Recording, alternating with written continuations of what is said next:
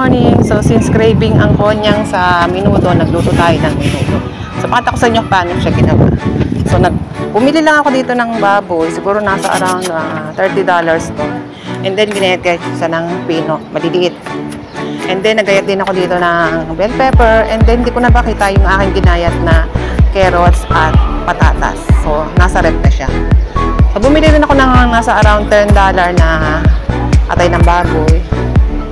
So, yan. Ah, lutuin na natin siya. So, dito ay pinrito ko na yung patatas at carrots. At nang sa palagay ko ay medyo luto na siya, half cook ay dinagdag ko na yung aking siling pula o yung bell pepper. So, sa video na ginaya ko, meron silang nilagay na mahang na sili. Pero ako yoko. Kasi nakakain dito yung alaga. So, yan. Pina-brown ko lang siya. Siguro mga almost mga 4 minutes yan bago ko tinanggal sa kawali.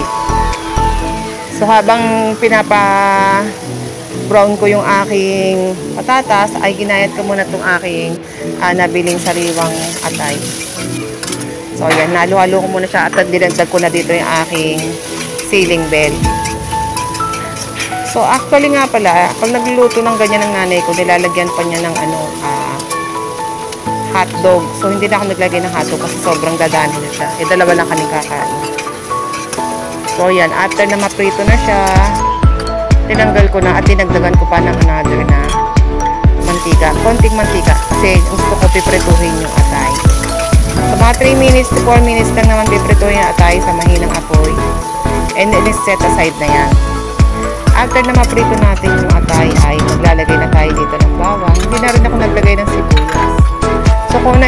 ano yung available sa, sa rep, yun na lang yung ginamit. Ito yung minudo na tinaman.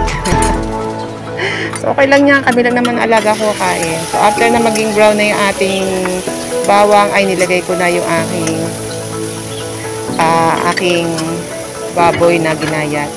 So yung nga palang baboy na yan ay minarinate ko muna ng 30 minutes sa lemon at toyo. So yan. Prito-prito ko lang siya. And then, nung nag-brown na siya, saka, saka ko palang nilagay yung aking tomato sauce. So, tomato sauce lang ang nilagay ko dyan. Wala nang iba. So, ayan. Pwede na ako maglagay ng tomato sauce. Dinagdagan ko rin ng toyo kasi parang na napuputlaan ako, naputla yung aking ah, baboy eh. So, hindi naman ako naglagay dyan ng dark soy sauce kasi. So, yan. Nilagay ko na yung kalahating pack nitong tomato sauce na nabili ko sa Philippine shop.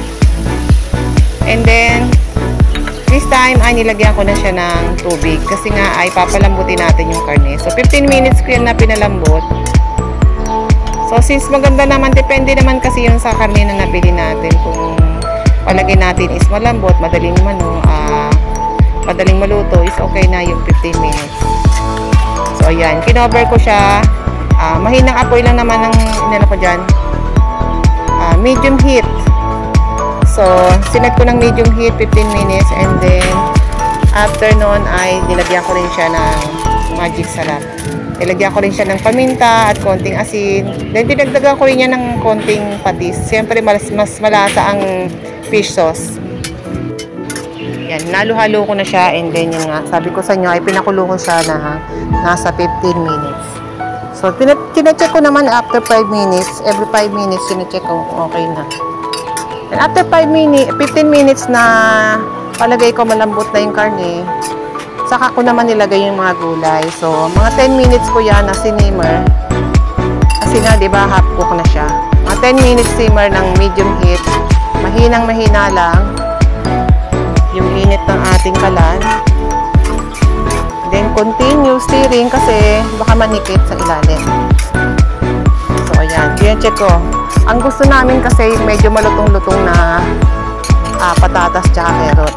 So, ayaw namin ng sobrang labog. So, ganun kasi dito guys sa Hong Kong. Ayaw nila ng mga sobrang malabsak o basta overcook yung mga gulay. Siyempre, na-adapt na natin, no? Ganun na rin tayo. Pero kung sa Pilipinas yan, talagang labog-labog yan, guys. Hindi ko alam kung alam nyo yung labog-labog, guys. Yung overcook. Sobrang lambot. Yun kasi tawag lang sa Cavite. Ewan ko pa sa inyo, sa lugar nyo. So, ayan. Nakita nyo naman, di ba? Mukha na siyang minuto. Lalo na siguro kung may sausage yan.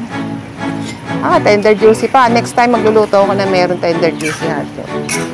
So, ayan na nga guys. Mukha na siyang minuto. Para na siyang piyesta. So, ayan. Craving satisfied ang konya. So, nagustuhan naman ni Alaga ako. So, salamat ulit sa inyong panonood. I hope may natutunan kayo sa araw na to. So, titikman na natin. So, kung wala kayong mabiling ganito, luto na lang kayo. So, marami naman kasi dito na mabibili ng mga Philippine products na, ano, yung mga pangrekado. So, why not? Magluto, di ba? 3 days ko yatang inulam yan. so, yan.